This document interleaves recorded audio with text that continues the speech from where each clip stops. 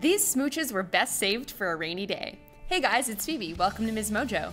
Today we're counting down our picks for the top 10 TV kisses in the rain. Aria? We're taking a look at some of the best kisses from television shows that took place in the rain. Warning, spoilers ahead. It doesn't show any signs of stopping. No. Should we run for it? Well, you're the boss. Number 10, Scott McCall and Kira Yukimura, Teen Wolf. This supernatural teen drama featured several rainy day kisses to choose from in a single episode. And while Stiles and Malia's was tempting, we went with the kiss between the eponymous adolescent werewolf Scott and his kitsune love interest Kira. With Kira having been away in New York, Scott is worried that she may have moved on after some miscommunication between them. Yeah, I just said, uh, you know, don't worry about anything. Just go and have fun. No, you did, you told her to go have fun. What? What's wrong with that? Nothing. Nothing's wrong with it. Just I don't know. That can be interpreted a lot of different ways. Like what? Well, like, don't worry, we're not exclusive. Go have fun with other guys.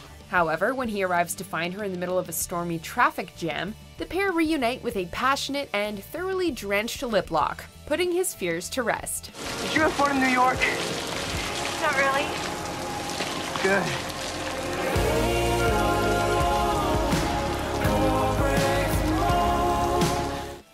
Number 9, Miranda Hobbs and Steve Brady, Sex and the City. Miranda is quite cynical about love and relationships, dismissing romantic cliches like happily ever after and kisses in the rain.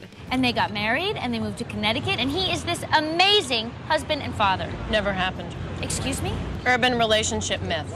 Unbelievable fairy tales concocted by women to make their love lives seem less hopeless. Her disbelief is especially strong after she meets Steve, a bartender who becomes her husband later on in the series, by the way. After meeting and having what she insists be a one night stand, she's convinced to give him another shot, only to push him away again at lunch with her friends. Can you for one second believe that maybe I'm not some full of shit guy? That maybe I do like you? That maybe the other night was special? Do you think that maybe you can believe that? No. However, when her cynicism is seemingly proved wrong, Miranda leaves the restaurant, which is named Denial as it happens, and rushes after Steve to apologize and kiss him in the rain. Steve! Steve!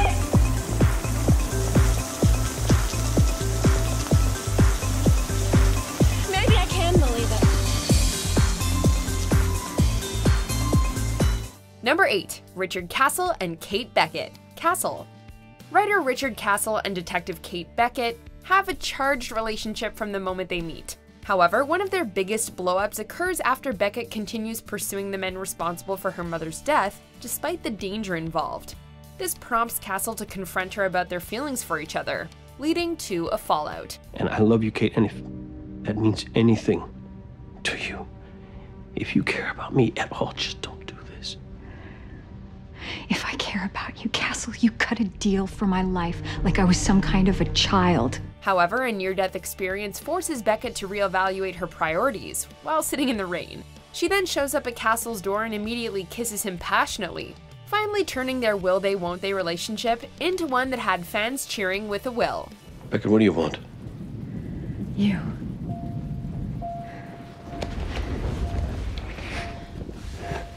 Number 7. Nathan Scott and Haley James, One Tree Hill. A kiss in the rain is a rare and beautiful thing for most couples. Not so with Nathan Scott and Haley James. These two kissed in the rain practically once or twice a season on One Tree Hill. Because you're looking really hot standing out here in the rain, and I'm thinking I have to kiss you. Whether they were recovering from a near death experience, making up, or just making out, Naley are easily the couple on our list to kiss the most while in the rain. Yet the sheer number of times they do so does keep them closer to the bottom of our list, since it makes each individual instance stand out less. Even so, the number of steamy, drizzly kisses is still rather impressive. You wanted rain. It is not possible to be this in love. Number 6. Alex Russo and Mason Greyback, Wizards of Waverly Place. Teenage female wizard Alex Russo starts dating Mason Greyback, a British exchange student with a passion for art who seems perfect for her in every way. That's what I do. I take famous moments in American history, and I imagine what they'd be like from the point of view of canines. Because I'm in love with America. And dogs. However, Mason's artistic enthusiasm for dog puts Alex off a little, and she uses her magical powers to make herself the source of Mason's inspiration. I blow through this shell and I become the artistic muse for whoever hears it. He'll want to paint me as me instead of a chihuahua. The chihuahuas are so cute. Yet Alex soon realizes, with some advice, that this isn't the way to Mason's heart, and she removes the spell, leading to a kiss in the rain that washes away a mural Mason painted of her, though thankfully not the prospects for their relationship. Just kiss me.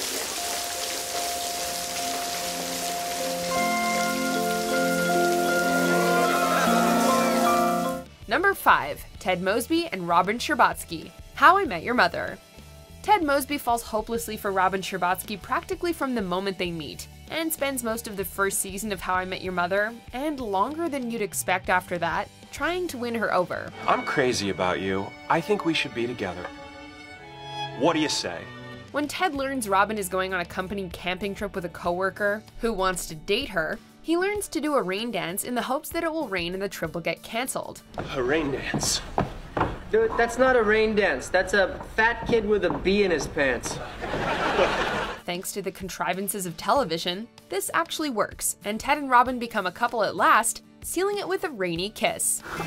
Why? Why? Because I made it rain! That's what I did today! And that's enough! I, I've done my part, now get down here! Number 4. Ross Geller and Rachel Green. Friends. Another big will they won't they couple, Ross Geller and Rachel Green rarely get on the same page.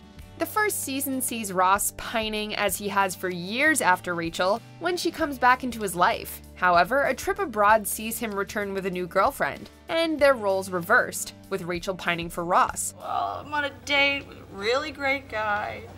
All I can think about is Ross and his cat and his Julie. A drunken phone call leads to Ross being made aware of this, and he and Rachel have a heated confrontation at the coffee shop that apparently ends with Ross storming out during a storm. I'm with somebody else. I'm happy. This ship has sailed. Okay, so what are you saying? You can just sort of put away feelings or whatever the hell it was that you felt for Hey, me? I've been doing it since the ninth grade. I've gotten pretty damn good at it. All right, fine. You go ahead and you do that, all right, Ross? I don't need your stupid shit. Yet he lingers at the door, and when Rachel opens it again, their passionate kiss is the stuff of TV legends. Number 3. Aria Montgomery and Ezra Fitz. Pretty Little Liars. We're crazy. You know that, right? I know. So how are we gonna do this? We can't spend the rest of our lives in sidewalks in the rain. Speaking of tumultuous relationships, Aria Montgomery and Ezra Fitz have quite the roller coaster romance, with most of the drama stemming from the fact that they began it while he was her teacher. While taking a break from one another after Aria's parents discover their relationship, which they naturally object to, Aria leaves several voice messages for Ezra, asking if he still wants to be with her. I really don't want to think about us being over, but you know, whether we are or we aren't, it's something that we should discuss face to face. So, meet me tonight at 8. They reunite in the rain and share a kiss that stops traffic. While we can see why some would object to such a relationship in real life, their kiss here is a diverting fantasy. Number 2. Jim Halpert and Pam Beesly, The Office. This office romance swept us all off our feet. Jim Halpert and Pam Beesly are perfect together, and we all knew it from the moment we saw them, even if it took a while for them to both figure things out. It's so rude of me. Have you seen um, Pam's new art? It's right there. Check it out. Once they started dating, it was only a matter of time before Jim popped the question. Pam pursues art school, leaving her separated from Jim and both of them feeling lonely. When they agree to meet halfway at a gas station in the pouring rain, Jim asks Pam to marry him. I just I can't wait.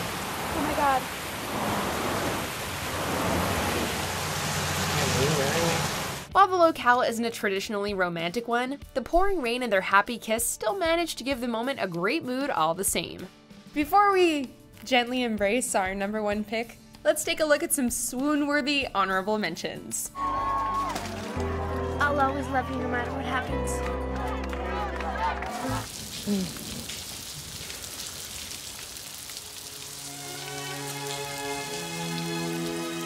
Hmm.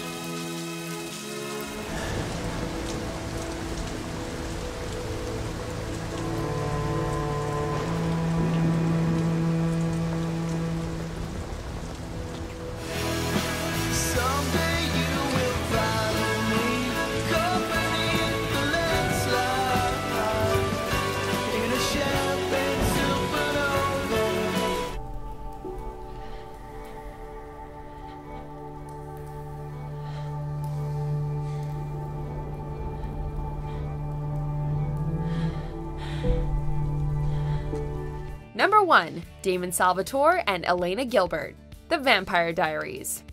A vampire love story for the ages, Damon Salvatore and Elena Gilbert have plenty of obstacles standing between them and happily ever after, both magical and mundane. One such hurdle is a case of missing memories. Elena tries to remember a certain memory when the two of them watched a meteor at a lake and were caught in a rainstorm. I remembered something out there. Just bits and pieces, but um, there were these stars, and then it it started to rain. Although she can't recall anything more, and Damon tells her they left after it started raining, in truth, they shared a passionate kiss in the rain and promised to be together forever. Come on. Time to invent a ship. No, no, no, no, wait. Just give it a second.